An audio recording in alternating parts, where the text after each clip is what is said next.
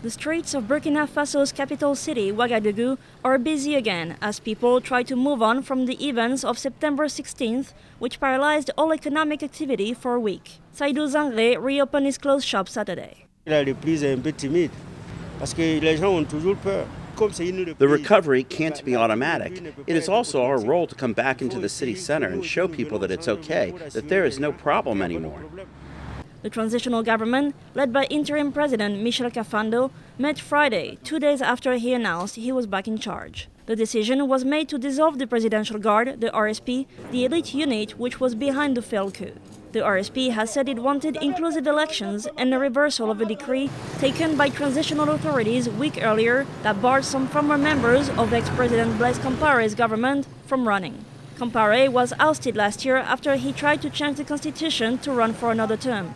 He had been in power for 27 years.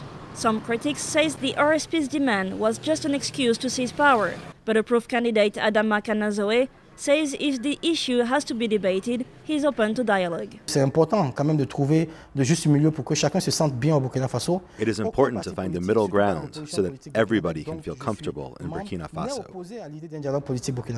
The transitional government also agreed to investigate the failed coup, which killed 11 people, while dismissing the putschist call for an amnesty. The election, initially set for October 11th, is likely to be delayed. No new date has been announced. Emilie Iob for VOA News from Ouagadougou.